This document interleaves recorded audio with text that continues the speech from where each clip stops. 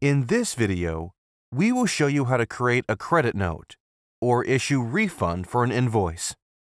To issue a credit note, you'll first need to decide which type of credit note you want to issue.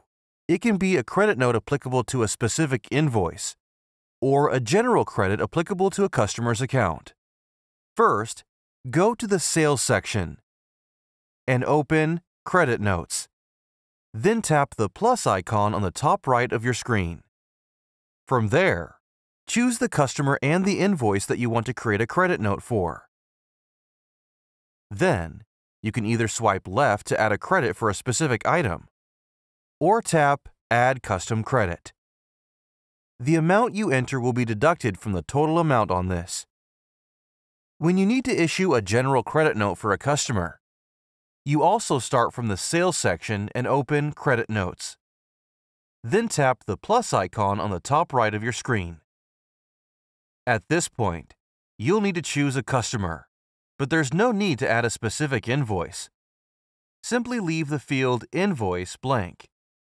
Tap on Add Customer Account Credit and enter the amount you need and click Save. Later on, when a new invoice is created for that customer, the credit you assigned will automatically be applied. On both types of credit notes, you can also add notes. Any notes that you add in this section are for your reference only and will not show up on the credit note for your customer. You can also tap Add File to attach a photo or a document to your credit note. Then select the files you need from your device's library and tap Save.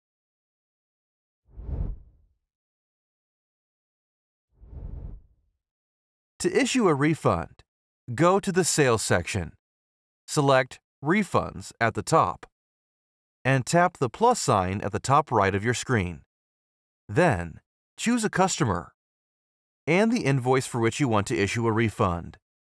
Only invoices that are partially or fully paid can be refunded, so only those will be shown to you in this list. Then scroll about halfway through the invoice and click Add Custom Refund to enter the details. You'll need to add a description. This can be the reason for the refund and an amount for the refund. When you're asked which amount to refund, you have the option to indicate either an amount that includes taxes or that excludes taxes. This can be different depending on your local tax laws, so it's up to you to decide which option is the right one for you. Generally, Places where prices always include taxes would enter a refund in that area. But other places where prices are displayed pre-tax should enter the information in the excluding tax space. Click Save. Your refund will appear on the invoice. Once you've added all the refunds applicable, press Save at the bottom of the invoice. You'll be taken to your refunds list.